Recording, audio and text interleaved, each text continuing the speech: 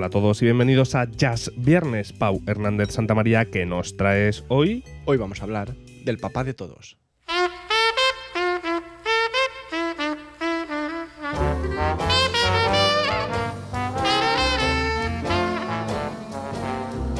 Just kiss me once and kiss me twice, then kiss me once again. It's been a long, long time. Haven't felt like this, my dear, since can't remember when. It's been a long. Louis Armstrong, señoras y señores, teníamos que terminar. Ya es viernes hablando de seguramente el músico de jazz más influyente de, de la historia, ¿no? Louis Armstrong, tromboni- eh, trombonista, tengo aquí, me, así, me lo he apropiado, trompetista, señores, y cantante, es uno de los músicos de jazz más importantes que ha habido, eh, ha tenido una influencia tremenda para todos los trompetistas y artistas de jazz en general, cosa que le ha dado el apodo de Pops, que es un, como se dice papá en la jerga inglesa, ¿no? Como de, de los barrios bajos y tal, y que también se, se le llama Pops porque era como la, la Me esto, sí. que utilizaba cuando se olvidaba el nombre de la gente. O sea, porque- Era algo común. por- Sí, que se le olvidaba mucho el nombre de las personas y decía, eh, tú, ¿cómo? Eh, Pops, ¿sabes? Y le llamaba Pops a todo el mundo y al final se lo llamaron a él. Es una de estas, de estas cosas. Para entender eh, cómo de importante es la figura de Louis Armstrong para el jazz, pues hemos traído aquí a Dizzy Gillespie que, y recopilamos aquí una de, esa- de sus frases más importantes al respecto, que dijo una vez que... Eh, la impacto de Louis Armstrong en la historia del jazz es impecable. Si no fuera por ninguno de nosotras estaríamos aquí. Pues eso. Así habla uno, es Carolina del Sur, perfecto, ¿no? Pues, Acento- sí, haciendo- te has salido un poco más del norte, ¿eh? Mm. Te, ha fallado ahí las, pena, qué pena. las vocales, Sí. yo creo. Eh, después veremos que en realidad su relación con el bebop y los nuevos estilos de jazz no fue demasiado buena, pero sin embargo los músicos de todas esas sí que lo admiraban a él eh, muchísimo.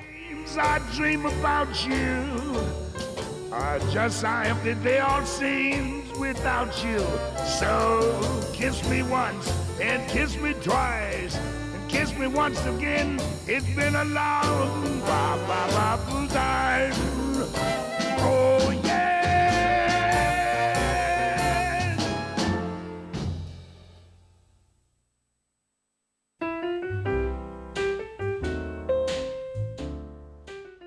Louis Armstrong nació, como no podía ser de otra manera, en Nueva Orleans el 4 de agosto de 1901. Sí, señor.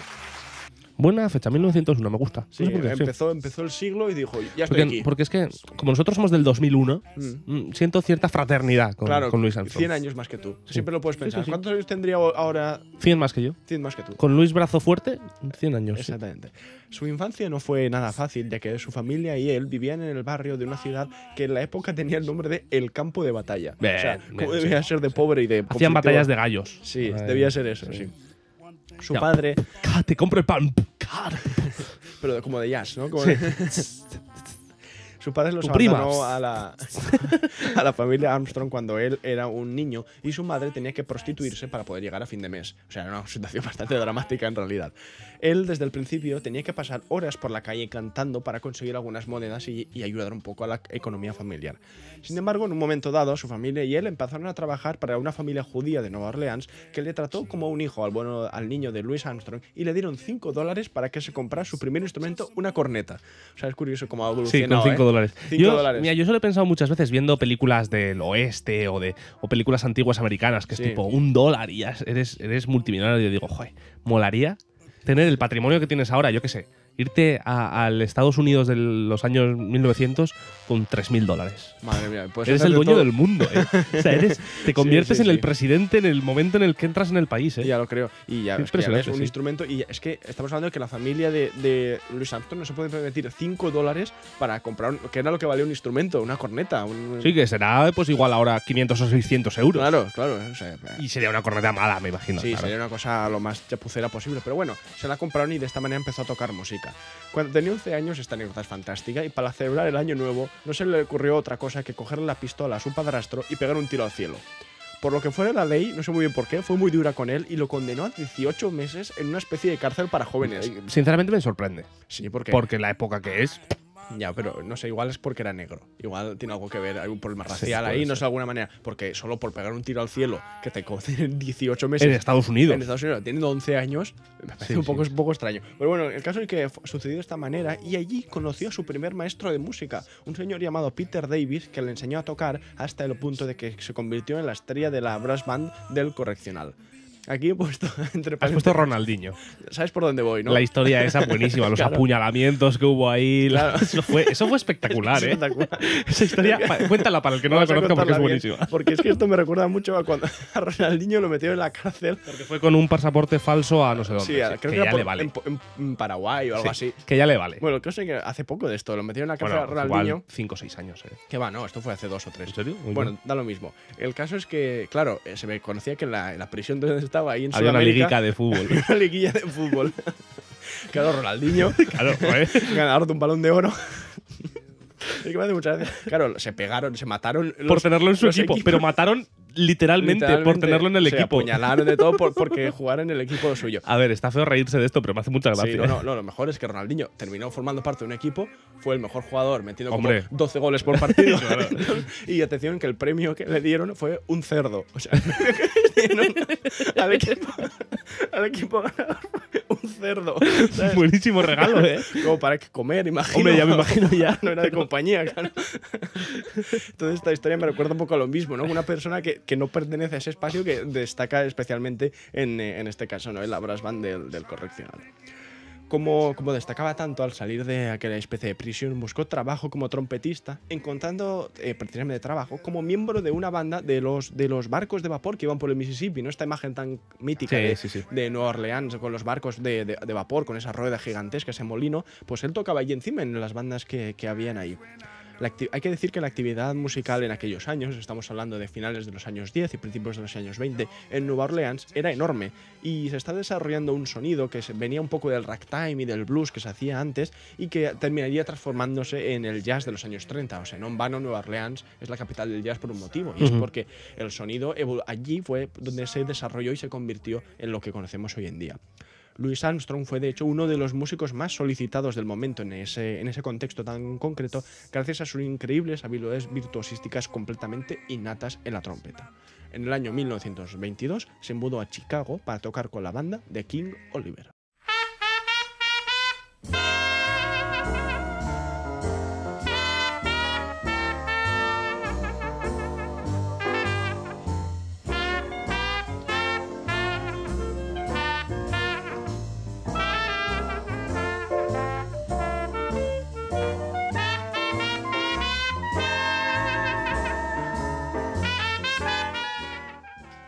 La década de los 20 es la década en la que Louis Armstrong se confirma tanto en Chicago como en Nueva York como un fuera de serie, básicamente, capaz de tocar la trompeta como nadie. Monta su famoso Hot Five junto a un trombón, un clarinete, un piano y un banjo, una combinación Curiosa, cuanto- pero que cuanto, puede- cuanto menos puede interesante, sí, sí, sí, sí, eh, que al, al poco tiempo eh, terminaría siendo el famoso Hot Seven de Louis Armstrong con la adición de un tubis- del tubista Peter Briggs y el batería Al Dutz.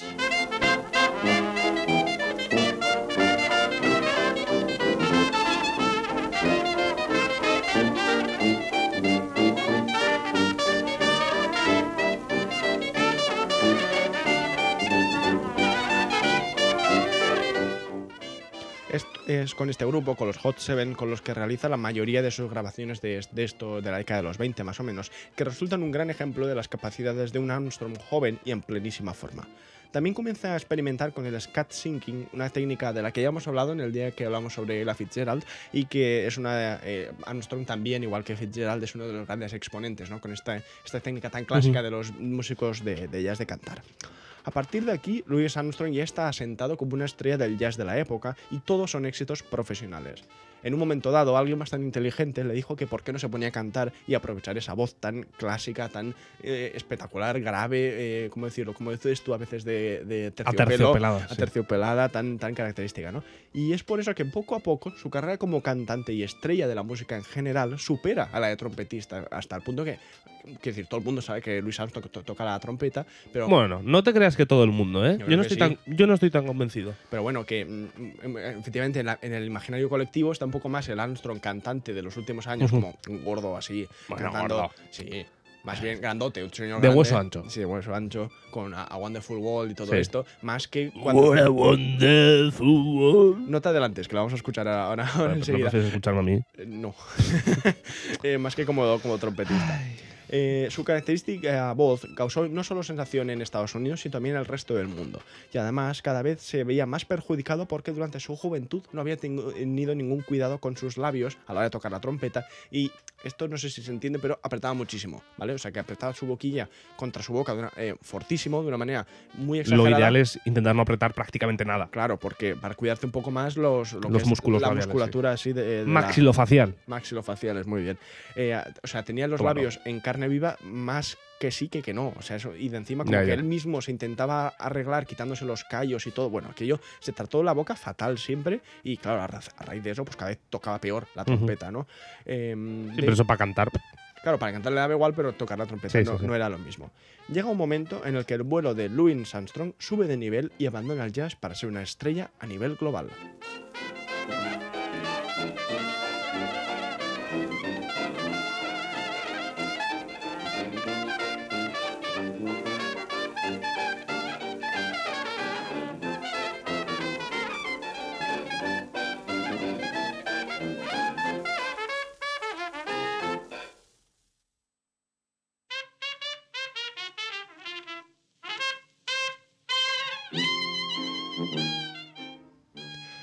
Actúa en varias películas, lo hemos visto en el cine en muchas ocasiones, y hace eh, música pop de la época. Para un ejemplo, una canción que si bien en su época no fue demasiado exitosa, sí que todos la reconocemos enseguida como uno de los grandes hits de la carrera de Louis Armstrong. Es en la voz de Louis y no en la de David, si no te importa, O What a Wonderful World.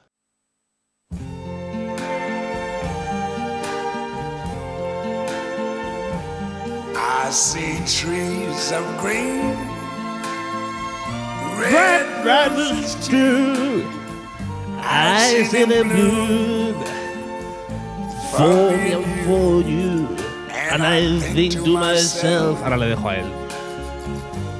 Que no, what a wonderful world. Es para el copyright, ¿no? Claro, para que no nos la tiren. Vale, vamos a dejarle. I see skies of blue and clouds of white. Of The bright, blessed day, days. the dark, sacred night. And I think to myself, What What a wonderful podcast. Inolvidable. Eh, ¿Te acuerdas de.? Creo que sale esto en Madagascar, ¿no? ¿Puede Sí, ser? puede ser, puede ser, sí. es una- yo, yo tengo esa imagen como muy grabada la Buenos memoria. temazos en Madagascar, ¿eh? Sí, la verdad, la verdad. Muy es que sí. buenos. Eh, una de Y las- el vídeo sí. ese de, de todos los lémures. Eh, Yo quiero marcha, marcha. Ese es. Sí, pero, pero la versión de, de, de los pibes en, en Gibraltar, muy buena. ¿Cuál es? Que hacen como. Uh, uh, uh. Sí, así. de, ¡España! Ah, sí, España, sí, sí. Es buena. Ah, pero esa es de Ice Age, ¿eh? ¿Es de Ice Age? Sí. Ah, creía que era de Madagascar. No, no es de Madagascar. Ah, es verdad. Que esto- el- el sí. perezoso, Sí, bueno, sí, sí, sí, es. Es verdad, salen todos los perezosos ahí. Ah, me he equivocado yo. Pero bueno, aún así es muy buena la escena, la- el igual. remake. Sí, sí, es muy bueno. Bueno, cuando Louis Armstrong tenía 62 años, ni más ni menos, desbancó, desbancó a los Beatles, que estaban en, en plena forma en aquella época, de las cimas de las listas estadounidenses con la canción Hey Dolly, que iba a ser parte de un musical con el mismo nombre. Claro, si él tenía 62 años, significa que esto pasó en el año 62 o 61. 63. o 63, eh, los que los Beatles lo petaban, básicamente. Era la, la época de- más top de los Beatles. Es el músico más mayor en lograr un top 1 de las listas de las canciones más escuchadas en Estados Unidos en esta época, porque no ha habido nadie mayor de 62 años que haya conseguido tal hazaña. Mira, curioso. Pese a que fue, como decíamos antes, tremendamente influyente para la generación del bebop, nunca mostró ningún entusiasmo por la evolución y el desarrollo del jazz. Sin embargo, esto no provoca que los grandes nombres posteriores a él lo tengan como un ídolo indestructible, como hemos eh, oído antes con Dizzy Gillespie. Aún así, dijo del bebop que le parecía música china, significa lo que significa eso, y en una entrevista le preguntaron si podía tocar bebop, a lo que contestó: Bebop. Yo solo toco música. Los que se inventan pala perdón, palabras, eh, es que me van el alma. Como esa, van andando por las calles con su instru- sus instrumentos en la mano. Yo no termino de entender a qué se refiere, la verdad, esta frase. Yo es que no prestaba atención a lo que estaba diciendo. Yo solo estaba haciendo el imbécil y Le- tampoco. Léela otra vez. Bebop, yo solo toco música.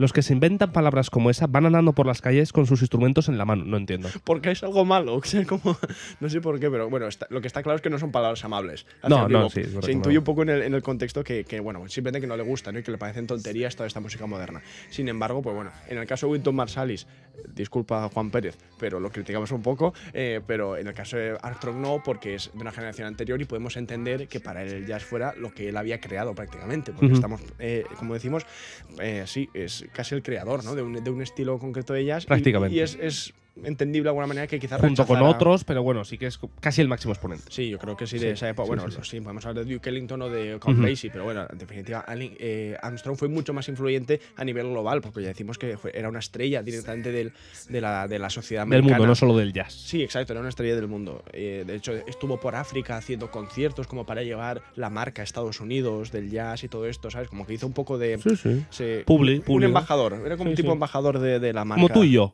Sí, de- Sí. nosotros somos embajadores de la música, en el caso era solo de, de la cultura americana. Terminó falleciendo en el año 1971 a causa de un infarto. ¿vale? Después Bueno, de- una causa. Normal, normal, sea, sí. normal, sí. Después de ¿A una nivel vida- drogas este? eh, marihuana solo. Solo. Nada más. En general, la marihuana decía que le gustaba más la marihuana que el whisky. Bien, respetable en opinión. Bien, bueno, sí. Y, y de No tengo el placer de ninguna No, de las dos, no, entonces a mí no, soy muy asiduo a ninguna de las dos tampoco. Ninguna de las dos, ¿no? y, y nada, pues. Quitando al MDMA y poco más. Claro, MDMA es, es, sí, las artes es marciales artes mixtas, marciales. Ah, ¿Cómo es? El, el de, el M- MD? No, eso es, un DM es un mensaje directo de estos de Instagram. eh, no me acuerdo. Mira, si no lo- es que no lo consumimos. Sí, entonces es que no, hay manera, no hay manera. O eso, o has consumido tanto que no te acuerdas. Claro, no te acuerdas. Yo creo que el M es una droga sola. ¿El M? sí. Eso es un. El M. Mira, para todo el que no lo conozca, el M es un bar en Bilbao que vende unos bocadillos que te cagas, unos sándwiches. El M, ¿Se puede comprar droga allí o que yo sepa, no. en los baños? Pero no lo sé. Pero se venden unos, unos bocadillos que tienen una especie de salsa especial que hacen ellos. Ajá. Muy, muy, muy bueno. ¿Es mayonesa por lo de la M? Me- la base será de mayonesa seguro. Casi seguro. Ya. Pero bueno, tiene más cosas. Bueno, eh, pues eso. Esto es la vida de Louis Armstrong, uno de los hombres más im- importantes de la historia del jazz. Y tristemente, esto es el final de la tercera temporada de Conocimientos Musicales. Oh. Eh, y nada, que de- desde aquí pues nos queremos despedir de todos vosotros dándoos las gracias por haber estado ahí eh, tantos días. Toda la, Eso va para ellos. Claro, es un aplauso para, Bueno, ya está, tampoco es para la audiencia, sin duda. Muchísimas gracias a todos y a todas por habernos escuchado. habernos Muchísimas gracias a ti, Pau, hombre. eh, todas las secciones que hemos hecho, todos los programas, todos los invitados. Agradecemos a todo el mundo que ha decidido colaborar, y es, ya sea de una manera activa o escuchando este podcast, que es un proyecto que, del que nosotros estamos muy orgullosos y que nos divertimos, creo que se nota mucho haciéndolo. Sí. Y nada, Sobre so- todo el último miércoles, ¿no? Sí, sobre todo el último miércoles, la verdad es que. Tri- bien. Triple desde medio del campo y ya está. Eh, nada, y os esperaremos la próxima temporada. Con, En septiembre. en septiembre seguramente habrá una, fin- finales de septiembre. Mm. Habrá una, una nueva temporada de conocimientos musicales. Seguramente será algo diferente a esta, o igual no. Ya, veremos, ya veremos. sí. Según lo que este La charla ejecutiva Sí. que hagamos ya, ya se verá, ya se verá. Y, y nada, che, pues que muchísimas gracias, eh, de verdad, de todo corazón por escucharnos. Eh, podéis seguirnos en nuestras redes sociales, darle me gusta al vídeo de YouTube o eh, darle a que os gusta el podcast en Spotify. También. Arriba del todo en Spotify, cuando vais a la página del podcast, no a los episodios individuales, arriba del todo, del todo, del todo, eh, hay un sitio que pondrá o rate the show, o valorar el show, o valorar el podcast o lo que sea. Pues si nos ponéis bastantes estrellas, pues os Pues agradecemos. Contentísimos. Por supuestamente. Y, y lo que dice Pau, nos podéis seguir en Instagram, nos podéis escuchar en Spotify, nos podéis ver en YouTube, visitar nuestra página web, conocimientosmusicales.com eh, y apoyar nuestro Patreon si os apetece, patreon.com barra conocimientos musicales, que, sería, que estaríamos más que agradecidísimos. Así que, con Autumn in New York, que vamos a escuchar ahora, nos vamos a despedir De acuerdo. durante los próximos dos meses, julio y agosto, de vacaciones. Sí. No prometemos nada. En principio En renovaremos. principio, no, renovar casi seguro. ah, vale, vale. No prometemos que no haya un podcast de por medio si nos da la vena así en verano decir, bueno, vamos a grabar uno. Pero bueno, en principio no. en principio no. Así que, eh, si nada cambia, en septiembre nos veremos otra vez con la cuarta temporada que nos ha, nos ha renovado Movistar Plus. Eh, y muchísimas gracias a todos, como ha dicho Pau, los que hayáis estado aquí, los que estéis entrando ahora en, el, en conocimientos musicales, que sab- sabemos que sois bastantes. Muchísimas gracias porque esto sin vosotros detrás no sería posible. Y muchas gracias a ti también, Pau. Nada, es un placer. Y nos vemos el año, bueno, la temporada que viene, el curso que viene. Así que disfrutad todos del verano. Y os dejamos verano, sí, con señor. Ella Fitzgerald y Louis Armstrong en Autumn in New York del, del álbum Ella and Luis Again. Adiós.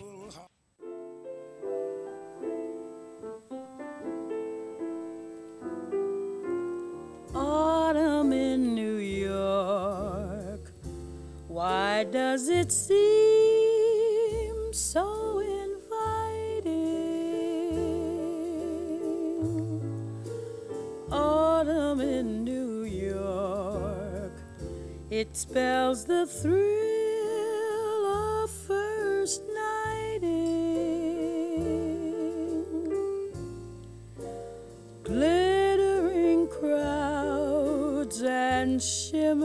Clouds in canyons of steel. They're making me feel I'm home. It's autumn in New York that brings the promise of new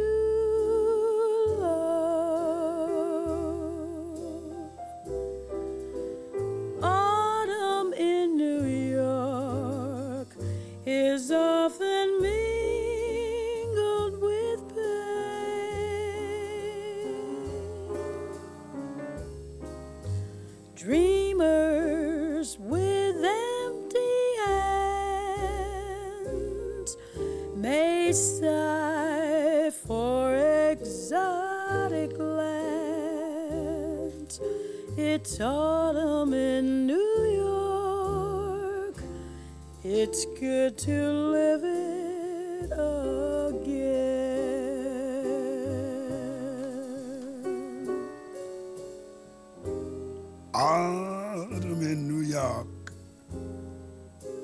The gleaming rooftops at sundown.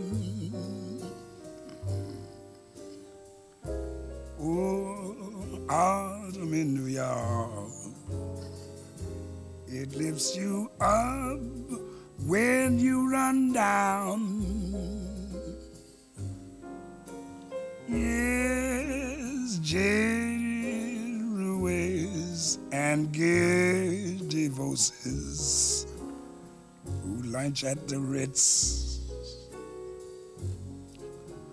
will tell you that it's divine.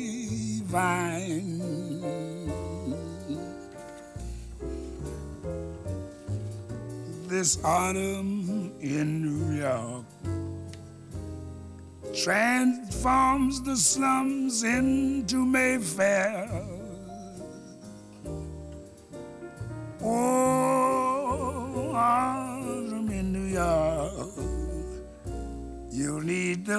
Castles in Spain. Yes, lovers that bless the dark. Oh, on the benches in Central Park. Great autumn in New York. It's good to live it again.